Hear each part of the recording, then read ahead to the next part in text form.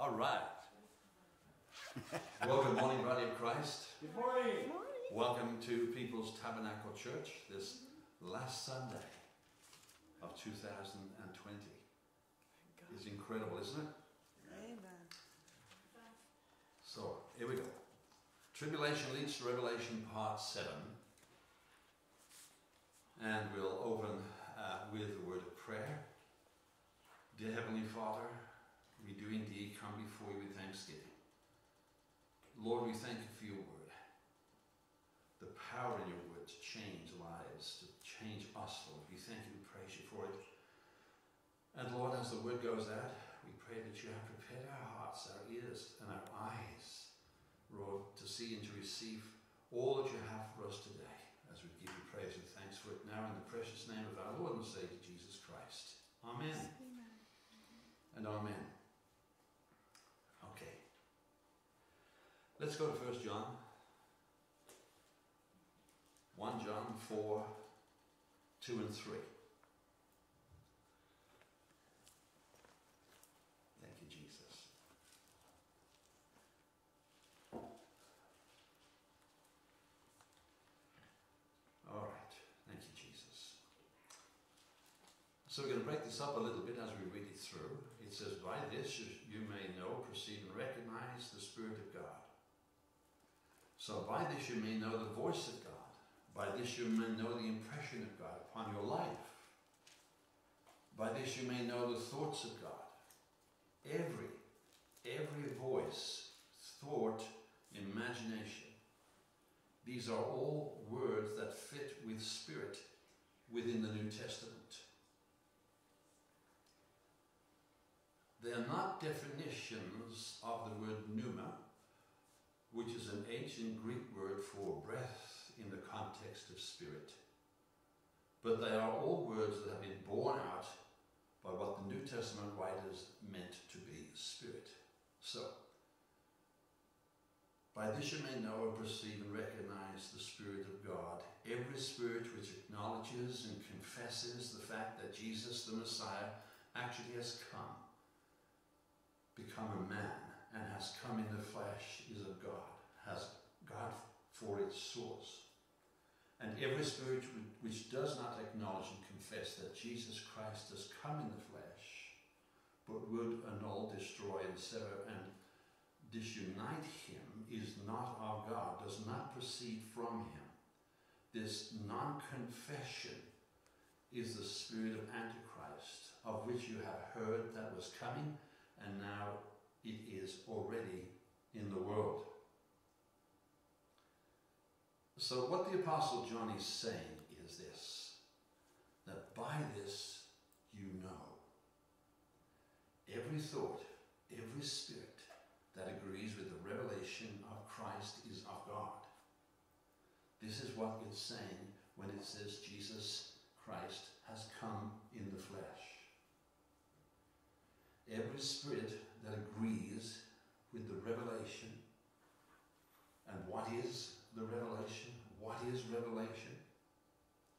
The primary revelation is that I and the Father are one. John 10:30. And now Jesus goes on to say, if you have seen me, you have seen the Father. John 14:9. In whom and of himself is the revelation of the love of God for humanity. Any thought then that communicates otherwise, or something that you must do, you must actually have to do something, is actually not of God. John is saying this, that this is of the spirit of the Antichrist, if that is are impressing upon you that you have to do, or that you have to do something to be accepted by God, other than, of course, acknowledging and recognizing Jesus Christ as come in the flesh.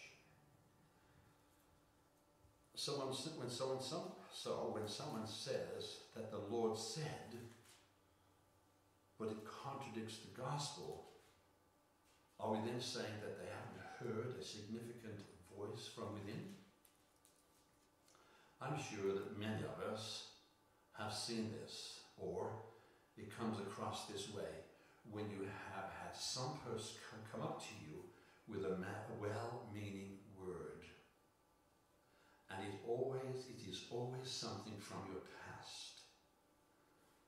And I don't mention this in a condemning way. Basically, it was a, a familiar spirit type of thing.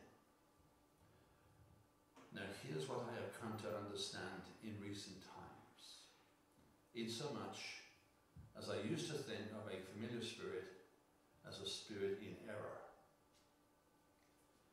In, think in thinking that the familiar spirit has something to do with your past. But the understanding that I now have through my experience and exposure is that the person speaking has had a familiar spirit with that, oh, has had a familiarity, I'm sorry, with that spirit, with that voice, and with that hurt.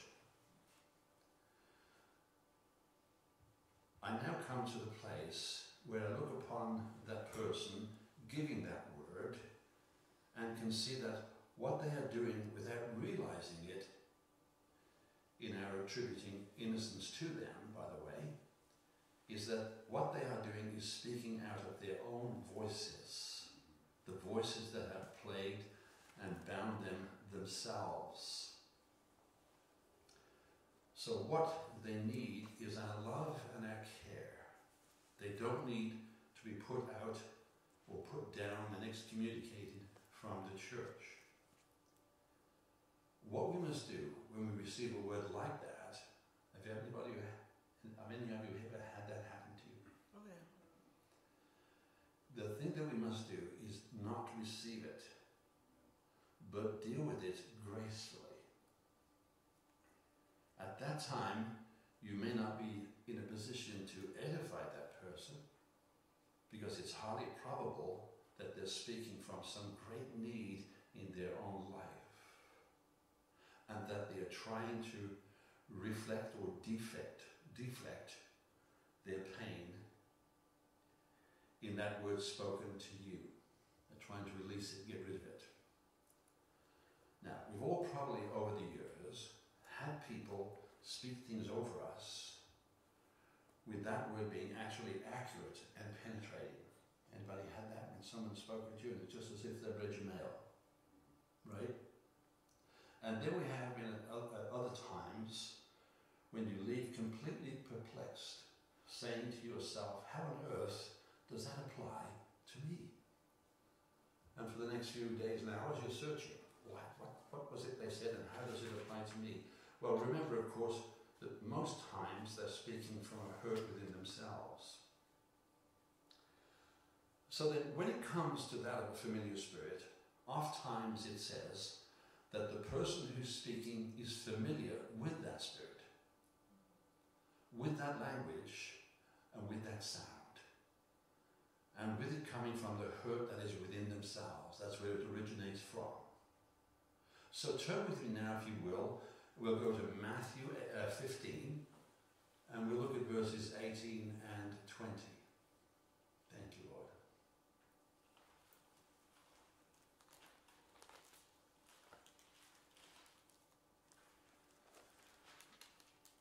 This is the word, of course, from Jesus. In verse 18, it says, But whatever comes out of the mouth comes from the heart. And this is what makes a man unclean and defiles him. For out of the heart comes evil thoughts, reasonings, and disputings, and designs such as murder, adultery, sexual vice, theft, false witnessing, slander, and irreverent speech. Verse 20. These are what make man unclean and defile him, but eating with unwashed hands does not make him unclean and defile him. Of course, Jesus was addressing the Pharisees there, the scribes and the Pharisees. Now, from the heart then come evil thoughts, murder, adultery, and all kinds of these of, of things. But take a moment to think about all of those things that have come out of man's heart that suggest that God is a murderer, Many unskilled unrenewed minds accuse Father God of that which comes from their own hearts and minds. So think on that, body of Christ. What we need to see here is this that these evil thoughts and false witnesses, these are the influences that John is talking about here. These sounds and voices, these are spirits. So, in other words, what we need to see is that these are many of the voices that John is referring to there, that there are many thoughts and many impressions that come to us every day in our daily lives. And that's why we have to be discerning, even within our own and with our own thought life, because the mind is the battleground. So the enemy will fill our minds with all sorts of things that are not from God, but coming from Him. So, and with that, with that being in the Word, digesting the Word, gleaning all that we can from it, we will learn to discern. See, you can't learn to discern if you're never in your Word. You have to be in your Word for the Holy Spirit to teach you how to use your discernment, how to be discerning. So we have to be in the Word, digesting the Word, gleaning from it all we can. So learning to discern the false from that which is truth. With truth being the words of Jesus. They are like, the words of Jesus are right, like the rippling effect when a pebble strikes the water. The effect of the rippling continues to ever expand. Does it not? One word from Jesus has that effect upon the heart of a true believer. Amen? How is it then that the, that the Christian, that a Christian can have evil thoughts in their hearts? Well, let's look at Matthew 22, 29. And let's have a look at what that has to say to us.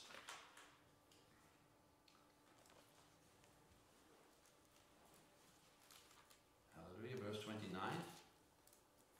But Jesus replied to them, You are wrong, because you know neither the scriptures nor the power of God. It is so important, body of Christ, you know, that we come to that place and it's there for all of us to attain, and it's there for all of us to acquire. And I'm talking about the power of God. But you can't have this, you can't be in this place, you can't have this power of God if you are never studying your word, if you don't have this ongoing relationship with the Father in the Spirit.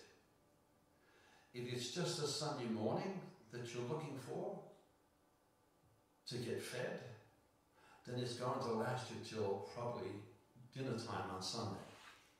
And then that revelation that you got will evaporate. Revelation that you receive must be applied in our lives. He doesn't give it to us to put it on a shelf. He gives it to us. He gives the revelation to us to change our hearts to change who we are, changes, changing us into the image of our Lord and Savior Jesus Christ. From one degree of glory to another degree of glory, being changed in that process. So now, obviously, here, Matthew is referring to our inability to understand just how Joshua took Canaan we understand that it was in the power of God that Joshua took Canaan. So there are many today within the church, within Christianity, who in actual fact do not still yet understand the power of the cross.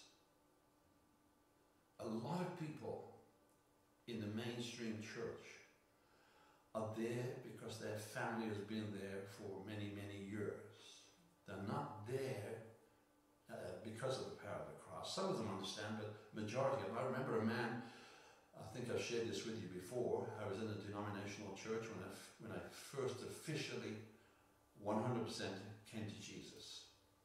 So Pastor Helen and I would be participating in everything that moved. We were in two choirs.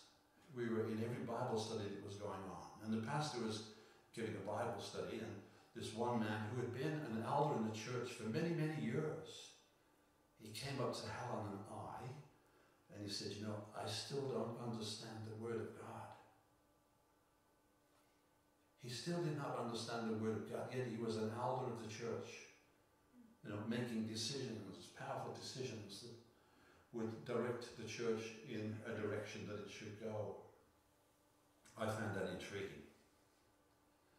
Okay, so with their not actually understanding the power of the cross in human history and what the cross has actually done, neither do they fully understand what the cross has to say about Father God's love for humanity. For God so loved the world, he gave his only begotten Son. Or that our Father God's grace that has been poured out upon humanity. You know, I feel for these people who have spent many years in the church but don't know who they are, whose they are, or what they are in Christ Jesus. And the main reason or the main contributing factor to their lack of knowledge is that they never pick up and read their Bible for themselves. How can God speak to you if you never read His Word? I mean, He can come to you, He can say something to you to, to impress upon you to pick up your Bible and read a certain passage. But unless you do that, you're not going to learn what God has for you in reading that passage, what He wants to say to you what he wants to illustrate to you. You know, it, may, it might be a change in direction that he wants to give to you. So you can change the direction of your life. Can you see amen? So what the Father has to say about the rescue of humanity, right? You're mistaken in not fully understanding the scriptures. Matthew 22, 29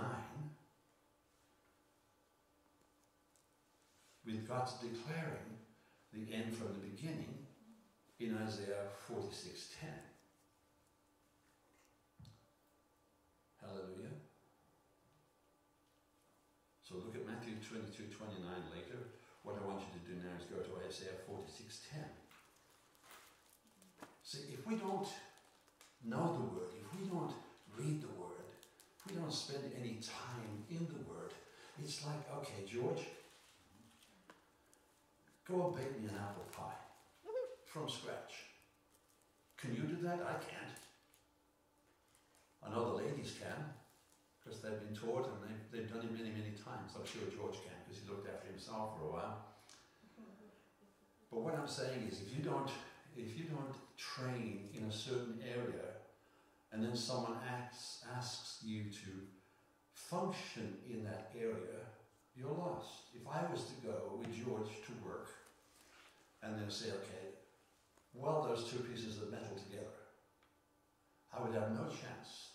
I would have no idea how to do it. Because unlike George, I haven't been trained. So it's, it's that way with the Word of God. If we don't read the Word of God, how can we expect to know who God is? I know I'm giving selling ice to the natives here, but uh, Isaiah 46:10, declaring the end and the result from the beginning, and from ancient times the things that are not yet done, saying, My counsel shall stand, and I will do all my pleasure and purpose. That has intrigued me, body of Christ. What is God's purpose? Ask yourself that question and give it some serious consideration. What is God's purpose? Well, it's many, it's many many-sided, it's many manifolded in its presentation.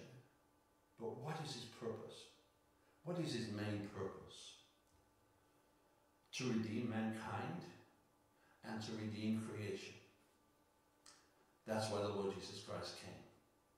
And when that has been achieved and accomplished, then God will turn around, I'll say, sorry, Jesus will turn around and present to the Father all that he has redeemed. So let us make man in our image, in our likeness, and let them have dominion. This is why the best use of the scriptures for us is to lead us back into a conversational relationship with Father God. That of the Trinity. That is our goal. Our goal in all of our time spent within the church. A lot of people, well, a lot of people don't come to church to do that. I don't know what they come to church for. It's not to improve and expand their relationship and the knowledge of God. I remember we had two ladies come to the church, and they came to the church with the express uh, function of looking for a husband. Praise the Lord. And then when they saw that we really didn't have any eligible bachelors, they moved on to another church to do the same thing. They were looking for husbands. So we need to read the scriptures because we need to have an intimate relationship with Father. We need to have an intimate relationship with the Trinity as a whole. Bringing us to a place where we, where we don't abandon the scriptures. That's what we need to be. Where we can cherish the scriptures for what they actually mean to us and what they actually say to us in the revelation of the Trinity and in the revelation of who we are in Christ. All of us having perhaps in our possession, and what reminded me of this was Pastor Helen said, I think just over the weekend, that she has 44 years of cards that have been given to her from myself, from the church family, you know, from friends, from children, from our children, and she realizes that she's going to have to do some decluttering.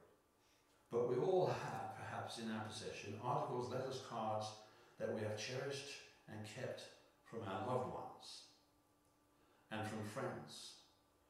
But as we know, they are all important communications, but they aren't the full extent of our love and our communication with those from whom we receive such things. They're an emblem of that relationship. They're an emblem of the love that we have for one another. The relationship, hopefully, goes deeper than a card. Amen. So it's important then for us to want to cherish and to understand the scriptures. But here's what we really need to do. We need to begin saying to the Father that we enjoy the intimacy of conversation with you, Father God. By Christ, we need to come to the place where we can sit in any service and meeting with a smile of expectation on our faces, with an expectation of new revelation in our relationship with the Trinity. If you don't come to church to obtain that, then you're coming with not with the full reason of why we should be here. But this is truly how intimate our relationship with the, with the Trinity needs to be and to become. We need to realize once for all that we are indeed actually living sons of God. Truly God in Christ, we need to come to the place in our relationship with the Father where it's not dependent upon scholars, teachers, and our pastors. We all have, hopefully, friends and acquaintances with whom we can and have been totally honest. They're few and far between. But this type and kind of relationship is what we need to foster and feed into our relationship with that of the Trinity.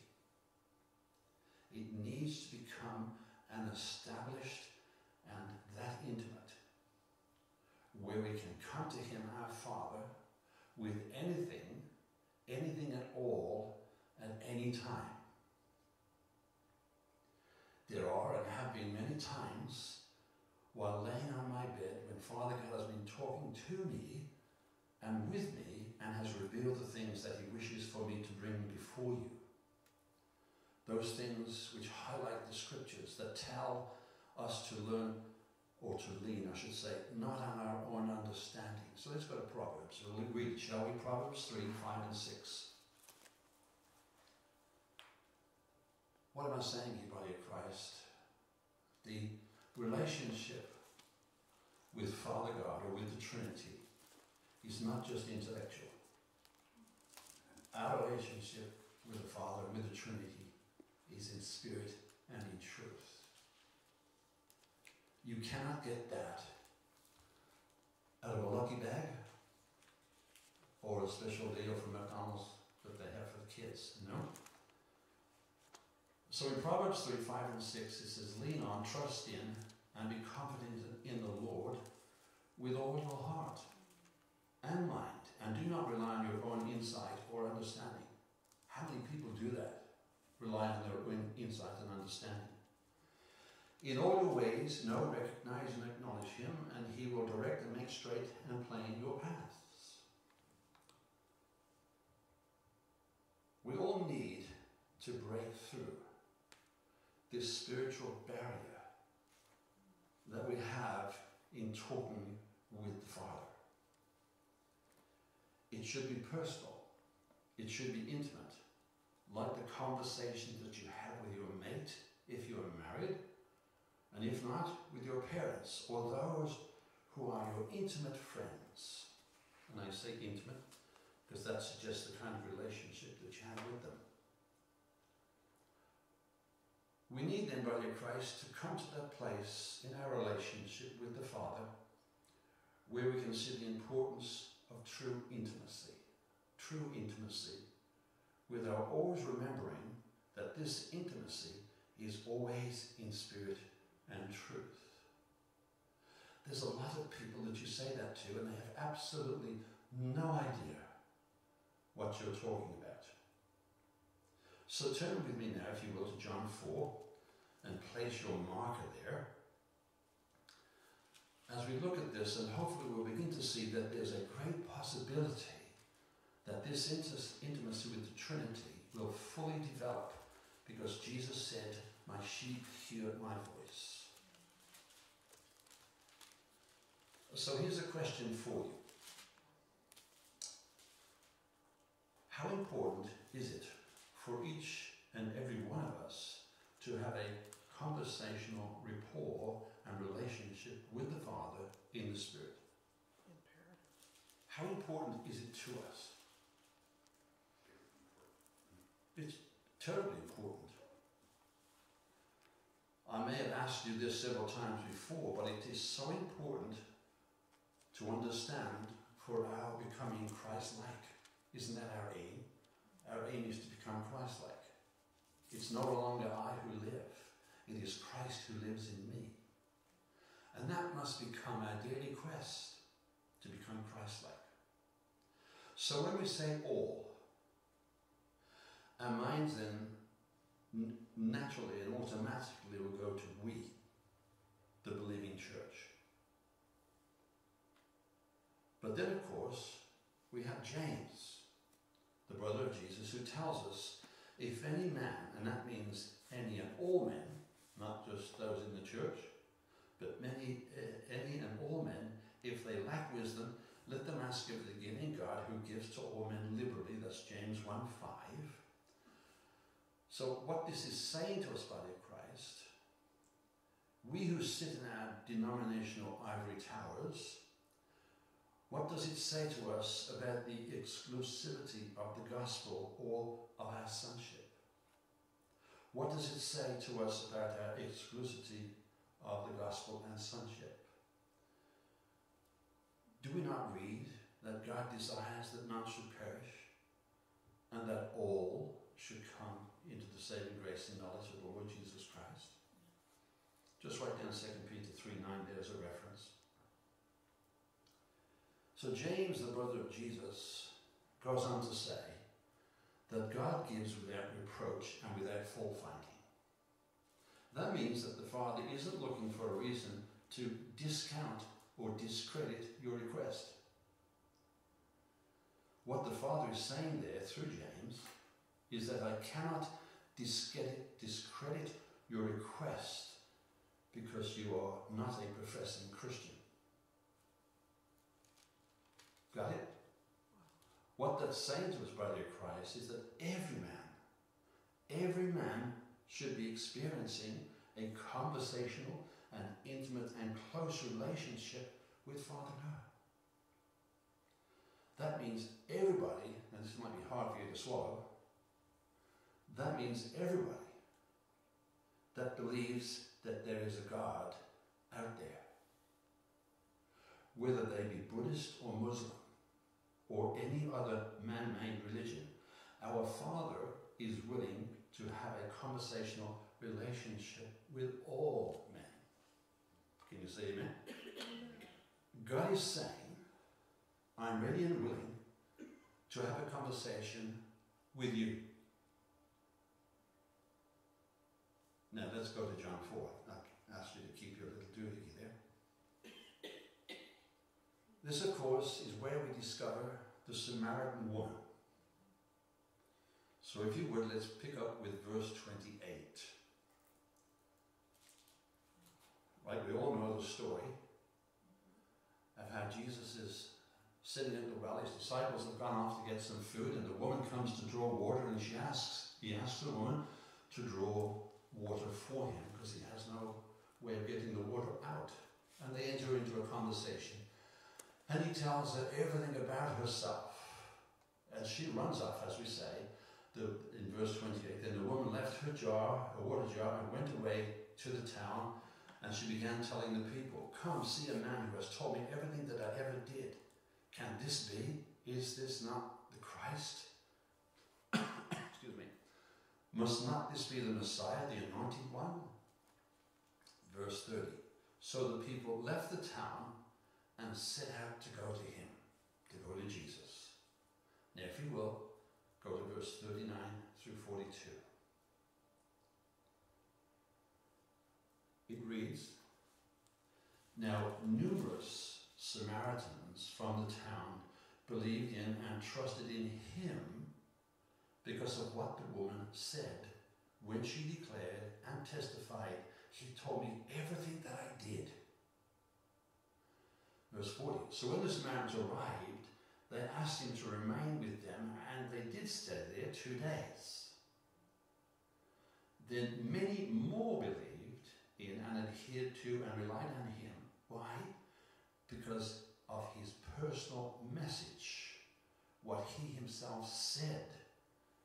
And they told the woman, now we no longer believe, trusting in our faith just because of what you have said, for we have heard him ourselves personally. And we know that the Holy, that he is truly, I should say, the Savior of the world, the Christ. See what happened there? Well, let me just continue for a minute. So this then is informing us that the Samaritan woman, after encountering Jesus at the well, had a testimony.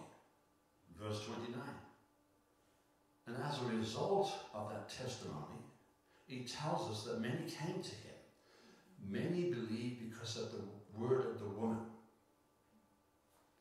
Now, in verse 40, it tells us that they themselves came to him.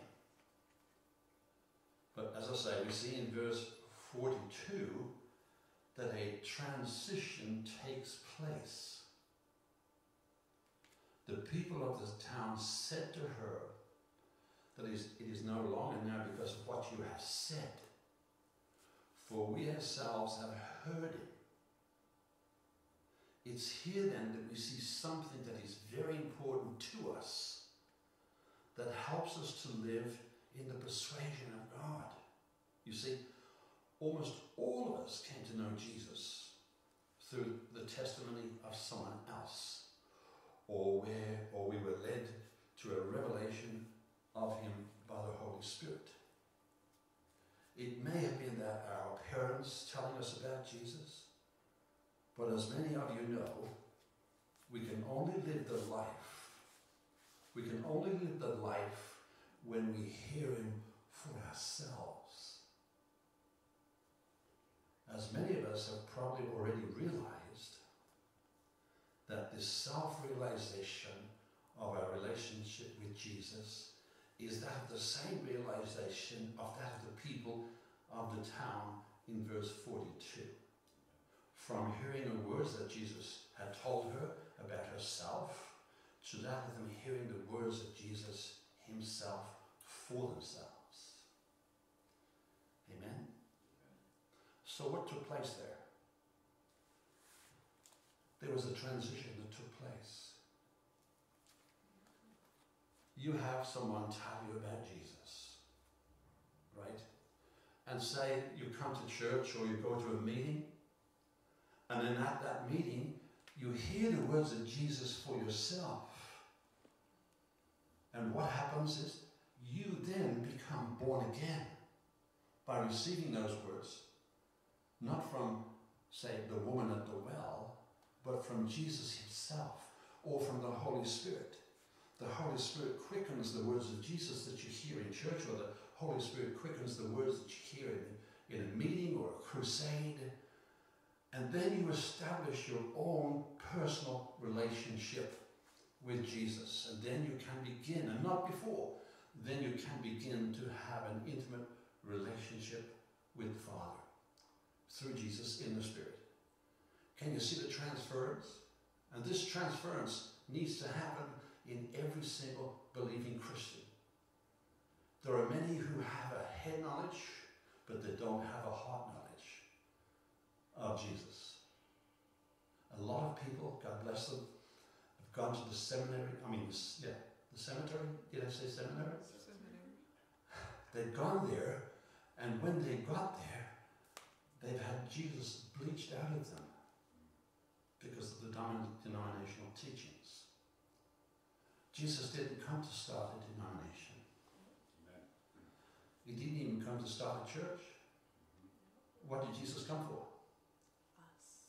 He came to reveal the Father. That's how intimate he wants the relationship to be. He doesn't want it to be through a man or a woman, a woman at the well. He doesn't want the relationship to be that way. He wants the relationship to be strictly personal, an intimate relationship that we have with the Father through Jesus in the Holy Spirit. Can you say amen? Amen. Amen. All right, we'll leave you with that thought until next time. And once again, can I ask you to do as I do myself? And that is to dig deeper into the things of God every single day. Amen? Did you get